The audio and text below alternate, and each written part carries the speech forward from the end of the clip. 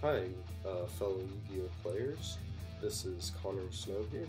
I just wanted to tell you guys that starting on Friday, May 29th, there will be what is called as GGC.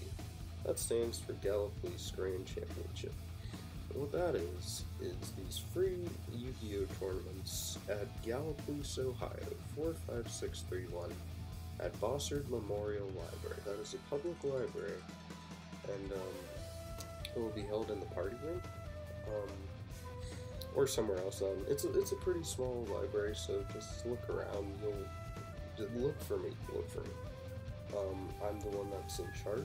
These Yu-Gi-Oh are completely 100% free. You do not have to spend a single penny on them. Um, and what this is for is for um, at the end of the summer, there is going to be what's the GGC basically. Um, what, what these summer tournaments is to get ready for that. So the GGC, that's um, that's, that's kind of like our version of nationals, I guess you could say. Um, what you have to do is each time that you top a tournament, um, depending on how many people are there, that's what um, that that that's what decides how many people top. Um, say top top two, top four, top eight, top sixteen. Depends on how many people are there. Um, but for each time you top, um, you will get a check mark by your name. I'll write your name down and remember your face.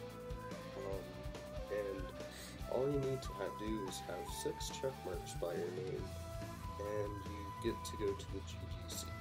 And that is also completely free. And um, at that, I actually already uh, bought the prizes. That's right, free tournament, and I paid for the prizes with my own hard-earned money.